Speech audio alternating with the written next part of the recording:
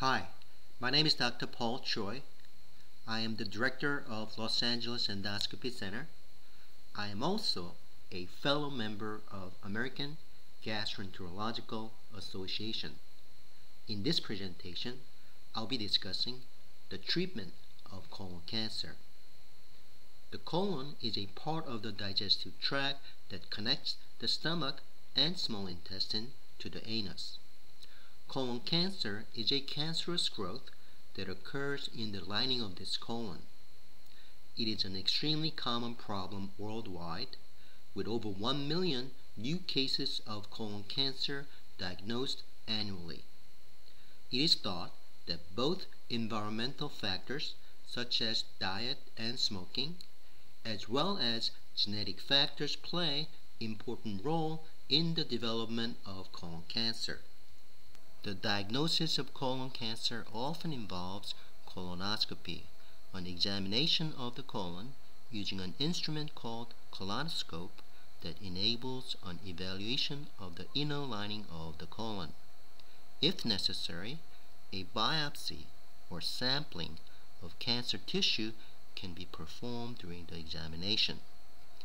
Once the diagnosis of colon cancer is made, the stage of cancer is initially assessed using a radiologic examination called CAT scan. It helps determine the size, location, and the spread of the cancer. Routine blood tests, including complete blood count, liver function tests, and a tumor marker called CEA, as well as chest x-ray, are obtained during the initial evaluation.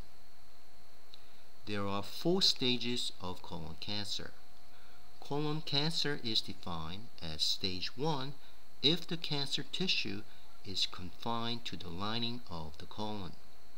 In stage 2 colon cancer, the cancer tissue has invaded the layers of colonic wall but has not yet spread beyond the wall. In stage 3 colon cancer, the cancer tissue has penetrated the entire thickness of the colonic wall and has spread to nearby lymph nodes. In stage 4 colon cancer, the cancer has spread to other organs such as the liver. The staging of colon cancer is important since the prognosis of affected individual is highly dependent on cancer stage. For cancer that has not spread, the surgery is the treatment of choice. In fact, surgery may be the only treatment necessary for patients with stage 1 or 2 colon cancer. However, some with stage 2 cancer may elect to receive chemotherapy. Following surgery, stage 3 cancer requires chemotherapy, usually for about 6 months.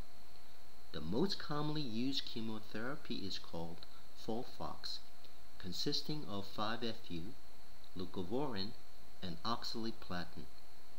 Some may also elect to receive additional treatment with a new class of cancer therapy such as Erbitux or Avastin.